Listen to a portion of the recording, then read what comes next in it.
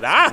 Wastelands. Oh, I guess there's a new set of Magic cards that's coming out pretty soon too. We should probably talk about that. We have some things to talk about. yeah, we should probably talk about those cards. a handful of cards that may be impactful in this format. Watery Grave will be a reprint in Guilds of Ravnica. It's certainly still good here too, as Noah Walker's going to play Delver Secrets. Down to 18, Noah goes, which is exactly what he wants to do with his deck. We're going to go over to Brian Coval now. He'll sacrifice the Polluted Delta, see what land he wants to get. And if it's going to be a threat on turn one, as there's a beautiful underground sea, or if he's going to do a little bit of cantripping to get his day started. He'll go with an Inquisition of Kozilek. So neither of the two things I mentioned. Instead, a discard spell targeting Noah Walker. And we're going to see Walker's hand here of a Ponder, a Brainstorm, another Delver of Secrets, a Gurmag Angler, and a Bloodstained Mire for the Legacy veteran at a young age. And a lot of overlap between these two decks, but a couple uh, interesting points of distinction. Uh, since Noah Walker is playing with Death Shadow and trying to deal damage to himself, he's playing with cards like Thoughtseize instead of Inquisition of Kozilek. Also, Coval this weekend playing two main deck copies of Bitter Blossom, so he has a little bit of interest in preserving his life total to leverage Bitter Blossom a little bit better. And so you see Inquisition here in lieu of Thoughtseize. It's going to snag a Brainstorm. Will Coval. We're going to reveal a Hymn to Tourach there for Noah Walker as Delver Secrets will transform into Insectile Aberration. So 3 2 flyer to get things started here for Noah. He'll come across here for three. As I did mention, Noah did make the top eight of Grand Prix Richmond, the legacy portion of that tournament, with this deck. I'm sure he's made some changes since then. And we also can't forget that his uh, resume and legacy, especially here on the SCG Tour, well, it very much speaks for itself. Yeah, he's been a dominant fixture of our Legacy Opens now for several years, and uh, very impressive to watch someone relatively young among the sea of competitors navigate a format this old with this many weird interactions as well as he does. He's going to look to resolve a Hymn to Tourach, but that'll be Daze by Coval. Coval says that's not going to happen. Now here's a Delver of Secrets for Brian as we'll head back over to Noah. Noah will untap his 3 2 Insectile Aberration. And he'll be starting things off with a ponder. So take a look at the top three cards, Patrick, as you love to say. Make that draw step just a little bit better. And I, I think something that uh, Noah does very well, and if you're looking to get in the format, something you have to learn to do. The sequencing of his cantrips and his fetch lands, he's just got that stuff down. And and so much of Legacy is squeezing out a little bit of an extra better draw step here and there.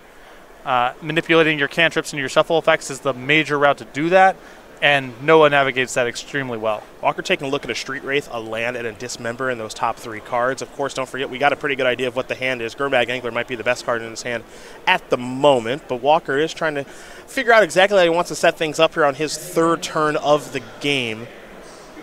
Tried to resolve a Hymn to Tourach. That did not happen. The Ponder did resolve. He'll keep that top card. He's going to come across here for three in the air. Coval's going to fall down to 13. And now he'll cycle the Street Wraith. Walker going to fall down a little bit lower. Looks like 13 as well. Now Noah will play a Scalding Tarn. Angler is a possibility right now, so he's going to sacrifice that Scalding Tarn. Going to let some of those cards go. And now for Walker, as he digs a land out of his deck, he's going to go with, it looks like an Underground Sea. And I think the goal here for Walker was to be able to set up Gurmag Angler with the ability to pay for Daze. And I think he should have enough cards in his graveyard where he can leave up one mana and try to resolve this Angler. Yeah, there go all six cards, plus one for the Angler. And the follow up now is another Delver of Secrets. If Brian wants to daze that, I'm sure Noah doesn't seem to mind. Noah does a fantastic job, unsurprisingly, playing around Daze. And now we're going to head back over to Coval, looks like. Though it looks like we're going to see a reveal there of Force of Will. So maybe, yeah, Noah actually had a daze to daze back to resolve his Delver. And now we head back over to Coval, who again did reveal Force of Will. We'll get another transformation there as Noah's going to re- reveal his own Force of Will. He's playing quickly because he's ahead, folks, and he is very confident in his position. And you wonder why, you know, why is there so much emphasis on one mana in this format? Coval playing main deck copies of Bitter Blossom. Why isn't that more common? Why aren't cards like Hymn to Tourach, the Walker playing a few this weekend, and Terminate, why aren't those cards more popular? And you can see Coval here has not gotten to two mana yet in this mm-hmm. game. Here's a brainstorm. It's going to have to be a pretty darn good one, as Brian Coval is going to draw three cards. He'll put two back, but he might be putting all the cards back in his deck here in just a moment because this is going to be a tough spot to get out of. And Coval has flashed a lightning bolt in his hand here, and he's had multiple sto- uh, spots here to play it profitably on Insectile Aberration. It makes me think he did not have access to red mana, may have kept a one land hand with a cantrip, never got off the ground. No, he did not. As Noah Walker's going to win game number one here over Brian Coval. Dimir Death Shadow very quickly up a game there over Grixis Delver. Noah Walker doing Noah Walker things, making it look easy here early this morning in Baltimore. We'll check out Brian Coval's sideboard here. two Surgical Extractions, two Diabolic Edicts, two Marsh Casualties, two Liliana the Last Hope, two Pyroblast, two Abrade. A Liliana's defeat, a Flusterstorm, and a Snapcaster Mage. Brian looking to kind of get his feet a little more set this game. Well, this is going to be uh, th- this sort of sideboarding to me is always really interesting because he's got some bigger cards here, like Liliana the Last Hope and Snapcaster Mage, uh, that are pretty good against Walker. But the question is, do you ever get to that much mana? Is the game determined that that uh, that early or that late? I do like the Pyroblasts, plenty of things to counter there, and it's cheap. Whether he wants to do things like Diabolic Edict, Snapcaster Mage, the Lilianas, that to me is an open question. I, have seen them be good in these kind of matchups, and I've also seen them rot in, in his hand the same way that we saw in game number one with his expensive cards being uncastable. Well, you know, no Wastelands involved in that game, but Brian just really can never get his feet set. I think the dazes that he played, they were necessary to play. Otherwise, the game would have been close at all. Oh, of course, yeah, and, and that, that contributes to it too. You need to be dazing here to kind of defend yourself early on in the game. That sets you back and makes it even harder to get these cards. We'll go to Noah Walker sideboard. You'll find some similar cards here, as these decks are Dimir based. You've got three Surgical Extractions, two Liliana of the Last Hope, and a whole bunch of one ofs here. So stay with me. A Flusterstorm, another copy of Hymn to Tourach, Diabolic Edict, Echoing Truth, Massacre, Dark Blast, Dread Night, Marsh Casualties. Liliana's defeat becoming a very common sideboard card nowadays, and a Ratchet Bomb. And and this is much the same story. I, I like the one Flusterstorm. I think that's easy to bring in.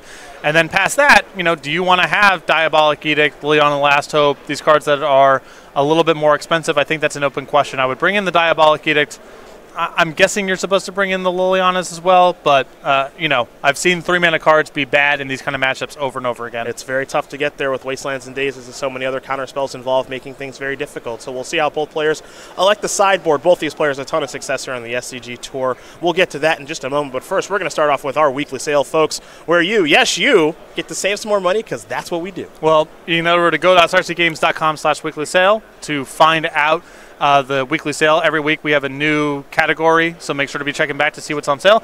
Uh, right now, up to 20% off select legacy and vintage singles. Mother of Runes, Windswept Heath, Gush. I doubt that's very expensive to begin with, but on sale. and Fiery Confluence. Go among other cards. Yes, of course. Go to starcitygames.com slash weekly sale. Patrick Sullivan, a practitioner of the weekly sale. I, I am getting it coming and going. He also broke the token strategy. Broke the oh. token strategy. I'm sure we'll get to that later yeah, this oh weekend. Yeah. yeah, you can you can inform our fantastic viewers. Exactly I cannot believe I still have this job. Yeah. well, Noah Walker player we're going to learn a little bit more about here for just a moment as the success for Noah Walker is plentiful for the 22-year-old from Amherst, Massachusetts with 11 open top eights, three wins, two in Legacy, a team open win as well in which he was in the Legacy seat. Invitational top eight still does elude him, but eh, I think it's going to get here sooner or later. Too good at Magic to not have one of those as the member of Team Card Hoarder. At one point in his life, had more PTQ top eights than years alive, and well, if peeing your pants isn't cool, then I don't want to be cool.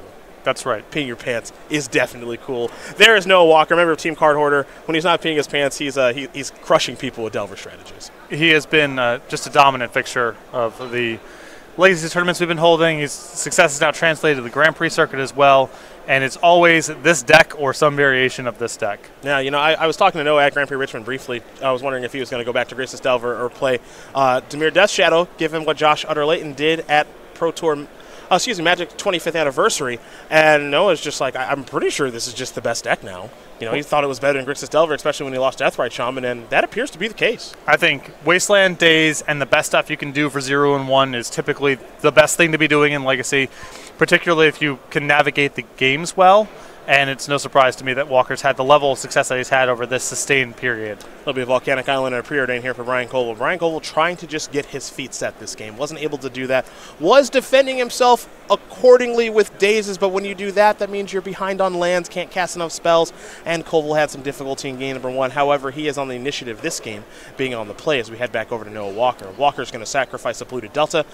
19, of course, but it's going to just be 19 because he's not going to search up a watery grave. And Coval there drew a Snapcaster Mage off of the preordain, suggesting that he, well, he's brought in the Snapcaster Mage, obviously, and may have sideboarded into uh, slightly more expensive cards here. I think that strategy is better on the play than on the draw. It'll be a Delver of Secrets. Now there'll be a Lightning Bolt with a mana available to be able to pay for Daze. So Cole going to play that land first to make sure the counterspell doesn't trip him up. So the Delver of Secrets is taken care of. We head back over to Noah Walker for his second turn of the game. We'll see what he wants to do here.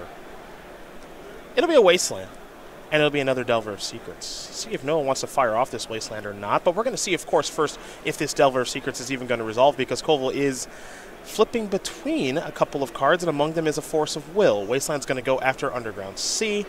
Underground Sea is going to go into the graveyard, so no Stifles to worry about. A card that actually has kind of worked itself, Patrick, out of Legacy. I think leaving up a mana in this format's really hard. That's what it comes down to.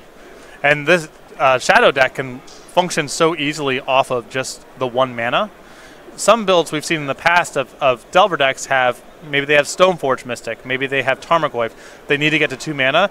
This Dimir Shadow deck can run just off of one with Delver of Secrets, Death Shadow, and Gurmag Angler. So trying to keep them off mana by Stifle, um, less effective here than it's been against Delver decks in the past. Be a Bloodstained Mire into a Watery Grave there for Walker, so he's going to fall down to 16. We'll see what comes next. Obviously, we're not in Death Shadow range just yet, but he's going to go with the Hymn to Tourach, the very powerful discard spell that's starting to make its way back into Legacy. It'll be a Force of Will removing Force of Will, so you can say he got his two cards. He still got his money. Mm-hmm. As it looks like we're going to head back over Brian's way now. He's got a land to play here in just a moment as the former Invitational champion. Two Volcanic Islands and Underground Sea. This is a Snapcaster Mage. And it's going to be an attempt at a lightning bolt to take care of the Delver Secrets, and that will resolve. No Daze to worry about. So, another thread handled there for Coval. He's got his feet set here this game. He's got what most people can't do in Legacy, Patrick three lands. Yeah, and now if he's brought in some more expensive cards, uh, those cards are, are comfortably online now. Well, another threat to have to worry about here in Gurmag Angler. The real big fish is on the stack, and it's going to resolve. So now we head back over to Coval.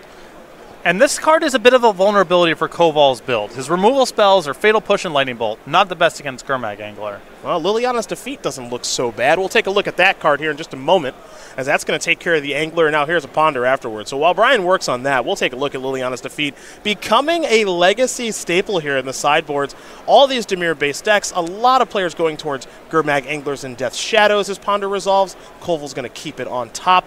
The one mana black sorcery says destroy target black creature or black planeswalker. If that permanent was a Liliana, which actually could happen in Legacy, her controller loses three life, as now here's a third Delver of Secrets for Brian to have to deal with. And Coval needs to have a little bit of removal for Gurmag Angler because game one, most of his answers are kind of sideways answers. True Name Nemesis, Bitter Blossom, he's got some routes to block it. Maybe he can block and bolt to finish it off, but his spells don't line up the right way. Uh, good for him to have some cards in his sideboard to handle Gurmag Angler specifically. True Name Nemesis is going to resolve here, of course going to choose Noah Walker as it looks like Delver's going to trade with a Snapcaster Mage. There's a Merfolk Rogue as it enters the battlefield. You choose a player. True Nemesis has protection from the chosen player. Here is a Thoughtseize. Looks like Brian's going to sacrifice this Scalding Tarn in response. But you can kind of see the difference in these two players' decks. For Noah Walker, everything's one or two mana. Mm-hmm. You know, Noah Walker's got Gurmag Angler, which sure it costs seven mana in quotes. This here's a brainstorm response to that thought Thoughtseize, but in reality, it's always a one mana five five for him. True Nemesis a little bit better than that, as Daze is going to take care of the brainstorm. But it costs three, and three mana is a lot. As now here's Diabolic Edict to take care of that three mana threat. As we head back over to Brian. Great sequencing there from Noah. Unsurprisingly. Unsurprising. Yeah. Looks like Brian might be thinking about doing perhaps a little dredging. He does have Gurmag Anglers of his own. We can't forget he does have Snapcaster Mage too. He might be thinking two mana here for the Angler to leave himself some cards in the graveyard to work with because of Snapcaster and Future Angler. So there is a real big fish there for Brian Coval. We go over to Noah Walker. He wants to do a little cantrip, and he'll do a preordained. Scry 2. Both to the bottom, draw one. New card coming there for Noah. He'll cycle a Street Wraith. Now another new card coming at the cost of two life. And it's a subtle thing about Coval's list, but something I do like a lot he's playing a seventh dual land. A lot of these decks try to skate by on just, you know, three seas, three volcanics, or whatever your color blend is. He has a fourth underground sea, which is doesn't again does not seem like much, but it's an acknowledgement that his deck is trying to play with some more expensive cards in these kind of matchups post board, and he's in the market just to make his land drops. He's happier to draw his dual lands uh, than these decks typically are. This will be a ponder here for Brian. He'll take a look at the top three cards once again here. He's going to keep with his ponder. Follow up with a Bitter Blossom. Now, this is a very, very good threat against Dimir Death Shadow. Blocks basically everything, Patrick. There's no trample in the in the shadow deck, so you don't have to worry about that. It's infinite chump blockers plus on a board like this, infinite attackers. The concern is it's slow. It takes a little while to get going, and it's you know again it's funny to say this, but it's two mana, and Yeah. it's you know you don't get to two mana all the time, particularly when you're on the draw. In this spot here, with Coval having a lot of life to play with. Walker being incapable of removing this card from the battlefield. I, I think we're going to be going to game three here in just a moment. It's interesting. At the early stages of this decade, this was a defining enchantment, maybe the best thing going on in standard during Lorwyn block. It's a little bit different now. Things have certainly changed, but in certain situations and in certain matchups, Bitter Blossom is exactly what you're looking for. And it may not have won Brian that game, but it certainly prevented him from losing the game. As Brian's going to win game number two here over Noah Walker. Grixis Delver, Dimir Shadow, going to get ready for a third and final one. And and and to the point about Coval playing with more dual lands, uh, Walker here on six, so he's keeping it. You know that that's kind of historically how these decks have shaped up. He's trying to keep it as lean as possible. He's in the market to cantrip and shuffle and put cards in his graveyard as much as possible. And Coval is willing to deaccelerate on that a little bit to be able to make sure he can hit his land drops. Well, you see the sideboards here once again. Both players are going to go back to the drawing board briefly here. I'm sure some things change a little bit on the play and the draw. But of course, you know, you do see the options there. We saw Liliana's defeat there from Brian in that game. Very, very important. Maybe the additional Snapcaster Mage has come in. Noah Walker, we saw his Diabolic Edict take care of that Shearing Nemesis. Otherwise, things may have been a little bit more difficult. And perhaps another Hymn to Tourach has come in for Noah. But these players do quickly go to the drawing board. Always a good thing to do, not only after game number one, but also game number two. No question. And especially in Legacy, I think that's the format where play versus draw is going to inform your sideboarding decisions quite a bit more than most formats. From from Coval's perspective, I think these two and three mana cards get a little bit sketchier when he's on the draw. He still may want them. Bitter, Bitter Blossom, I think, is still worth having. Um, and I think Diabolic Edict and those kind of cards are still worth having, but it, you know they get a lot worse when you're on the draw and hitting your land drops and playing around Daze is a lot more challenging. Brian, a former Invitational champion, as I've mentioned a couple times during this match, and our current Invitational champion, of course, is Aaron Barich. He wanted to be a soldier token. He got that from winning the Invitational. Also walked away with a whole bunch of money, a trophy, and some real bragging rights, of course. And for Aaron, this token we, of course, give away to you, wonderful people at home, with your orders and in some entries. Yeah, the easiest way, just come out to an open, a classic. You get this token when you sign up if you can. And the order from StarCityGames.com, $5. Exactly $5 so or here more. We. Here we go. We give you one of these tokens. Not like you've placed multiple $5 orders to get a token. You would never do that. Yeah, I'm Barrage flooded. Yeah. that is Aaron I have more of those tokens than I know what to do with. a fo- uh, our current invitational champion, our former invitational Brian Coval. We'll take a moment to learn a little bit more about 30 year old from Pittsburgh, PA. I'm sure he's a Steelers fan. He's got that one invitational top eight and the one win. Looking for more top eights on the resume, but you know the conversion rate, 100%. Yeah, that's how you want to do it. Super easy. Don't waste it. Played trombone in many unsuccessful ska bands, board certified behavior analyst, and all. Ooh, I did not know this. Maybe a hidden ringer for you to battle against. Always in for pickup basketball. I have not I have not touched a basketball in over a year, but I would still I would still go at it. I'm trying to think. Brian kind of tall. Me also maybe a 30. small f- okay. That's a big those 6 years are a big 6 years. Yeah, that's fair. That's fair. Here's a Thoughtseize to kick things off. We're going to see a Misty Rainforest, a Polluted Delta, a Wasteland, along with an Underground Sea. Those are the lands to go along with the Diabolic Edict. Looks like maybe a copy of Liliana's Defeat, and then a True Nemesis. So a slower hand with no cantrips, but plenty of lands, and the ability here to fire off a Wasteland. And, you- and you know, you, you always wonder when you're playing against a deck like Noah's, they keep a lot of one-landers Yes, they do. with cantrips, Oh, the incentive just to go for it here is is pretty high. especially on the draw. Yep. And normally, if you have a Delver of Secrets, you just lead with that card. Yeah. So it looks like Liliana's defeat is going to go to the graveyard. We're going to go back over to Brian. Brian going to draw a card. You're going to fire off that wasteland. Yes, he is. Get him. Get him. Walker got a second land. We're going to find out here in just a moment. Looks, like, he's- he does. Yeah, he's got a Delta. Yep.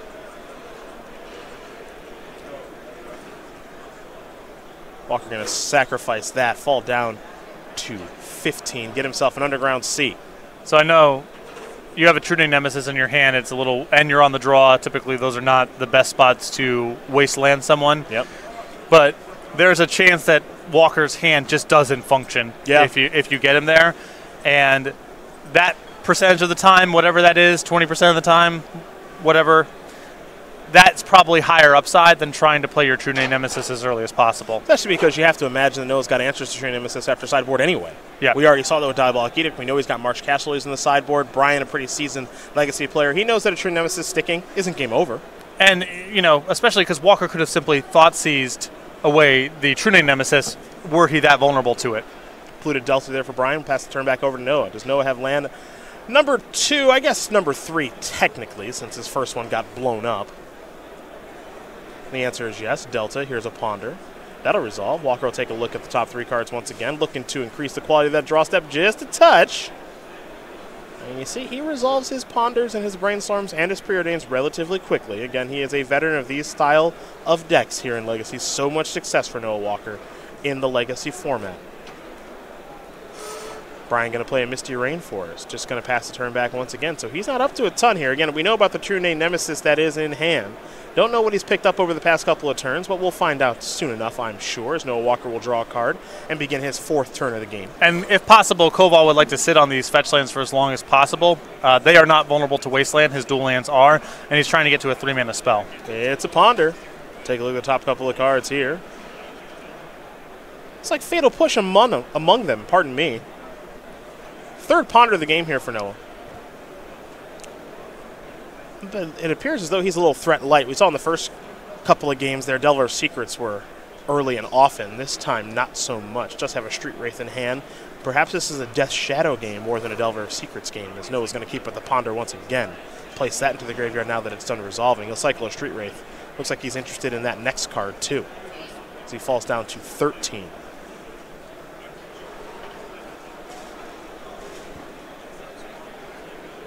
See what comes next for our Dimir Death Shadow player.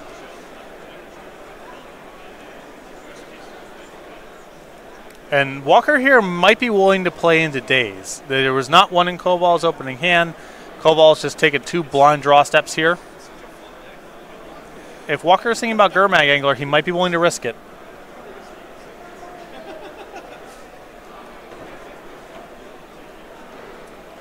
It'll be a water grave. Walker down to 10. Death Shadow very much online now. Is that what he's going to play? This is a Delver of Secrets in Wasteland Pass. An interesting sequencing there from Walker, suggesting that he would have been okay with the Delver getting dazed. There's a bolt. That means Volcanic Island is the land that Delta's going to find. And there's the red removal spell on the very powerful 1 1 that, of course, transforms into a 3 2 flyer. Delver down. Wasteland's still around, at least for right now. Curious to see if Walker wants to fire this off. He will. There goes the Volcanic, and we're going to head back over to Brian. Brian will draw. Remember, we know he's land heavy, or at least he was in the early stages of this game. Fired off a Wasteland already. We knew he had multiple lands past that. You can see the Underground Sea in Brian's hand. Now he's going to sacrifice the Misty Rainforest.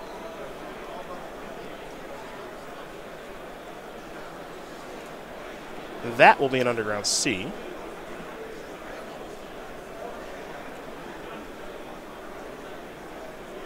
Now another Underground Sea, and now of the real big fish playing around a day is Very well there by Brian Coval.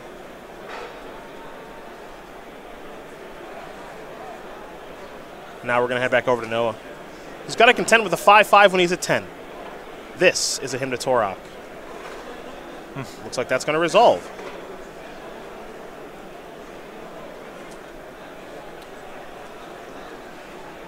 So we'll roll some dice to randomize here, or at least try to. There goes one of those. And now one, two, three, four, five, six. I'm sure. There we are. Two cards will go away. It's a. It looks like a bitter blossom and a diabolic edict. Doesn't seem like bad hits, truth be told. Well, Walker's still now aware that uh, True Name Nemesis is still in Coval's hands. Mm-hmm. In for five. Walker's going to fall down to five. One more lethal shot as this is going to be an attempted True Nemesis. See if Walker has something like a daze here or not. He does. So the True Nemesis will be answered. Again, this is kind of the problem with three mana threats. Something you've talked about so much is there's Diabolic Edict. An attempt at it to take care of the angler that would kill him. That will work. Yeah, it's and, and play versus draw again. It's a big difference about how good those two and three mana cards are. Inquisition of Kozilek is going to give us an idea of what Walker is working with. You'll see a Brainstorm, a Daze, and a Marsh Casualties for Noah. Brainstorm will bite the dust. Brian knows what he's got to worry about now in Daze and Marsh Casualties. And he'll simply pass the turn back. So we'll go back over to Noah. Noah will draw a card. A preordained's not a bad start. He'll take a look at the top two cards. They go to the bottom real quick. He's not interested in either one of those. The follow up is a Delver of Secrets. That is going to resolve as we head back over to Brian. Brian will draw. Your former Invitational champion is going to start off with a preordained for his turn, Scry 2, just like Noah Walker did last turn. Looks like Snapcaster Mage is one of the cards that he's looking at. There's some appeal there with maybe the discard spell or the Diabolic Edict, though that's asking a lot, and he's already got an answer anyway in Fatal Push, so that'll take care of that. And Walker really on the hunt now for Gurmag Angler, as that is a card that Coval does not handle well. Wasteland will take care of the red source past the turn back. And you can see play versus draw how different Snapcaster Mage, Bitter Blossom, True Name Nemesis, cards that were really good for Coval in game number two, are so much worse in this third game. Yeah. Though this game is going longer, which is, is- good for Brian. It is going longer, but you know the the days is on on Walker's side when he's got a little bit more leverage to work with. Those get better. Uh, Coval now at, at some has to be aware of the risk of getting cut off of red mana for the remainder of the game. He's got one volcanic left in the deck. If that happens to get wastelanded, Could be trouble.